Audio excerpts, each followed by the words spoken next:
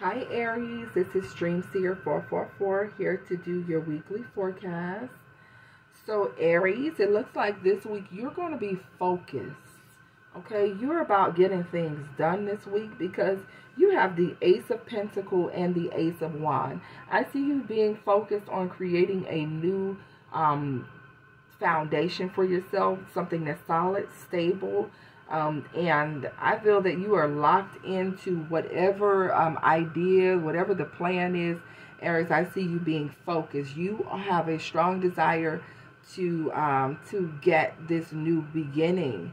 Um, so there, there could be a huge financial opportunity that comes in or some um, divinely guided creative idea that is going to put you in a very um, solid and stable spot okay?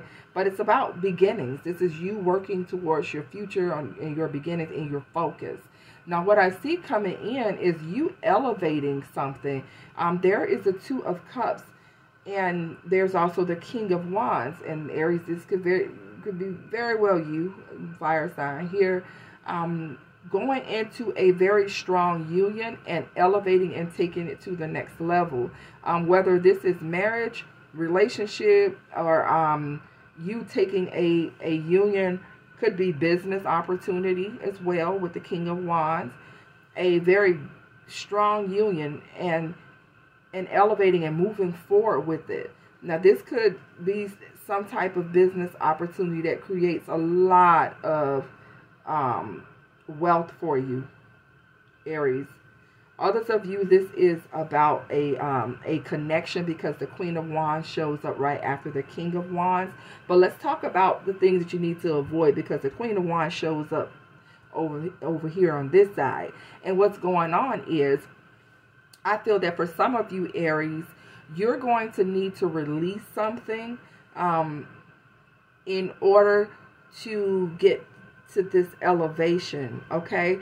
I feel there's the Queen of Wands, there's the the Knight of Wands, Page of Pentacles, Justice, and the Knight of Cups. There is an, a smaller offer that's going to come in for some of you Aries, and um, it could be very, you know, it could seem like it's very similar to something that's already coming in for you, but it's a knight. There's a king here and there's a knight here. In order for you to get this um, total fulfillment right here with this King of Wand, Queen of Wand. I think it's very, um, I think it's important that you um, stay focused on your goal because you have to look at the bigger picture here. The bigger picture is you want this Ace of Pentacle, Ace of Wands. And even though you could very well obtain that with the Knight, because you have two Knights here, um, you are at a level uh, where you are sitting as, as a king and a queen, okay? You are already at a certain level, so you don't, you may be thinking um, of, you know, turning down an offer that is going to be smaller than what you, you know you deserve here. Um, I feel that this could be, if it's dealing with a relationship, I feel that someone's going to come in with an offer um, possibly offering up an apology and wanting to bring balance to a connection. But I think Aries, um, someone will be looking at the bigger picture that this offer is just not enough um, because they are destined to be in something that's more solid, more stable, and more divinely, um, divinely put together. Okay, so this is what I'm getting here for you, Aries. There may be a decision to be made this week because I see um, three people, King of Wands, Queen of Wands, and I'm sorry, yeah, King of Wands, Queen of Wands, Knight of Wands, Knight of Cups. Someone wants to come in with an offer, but it's just not a big enough offer.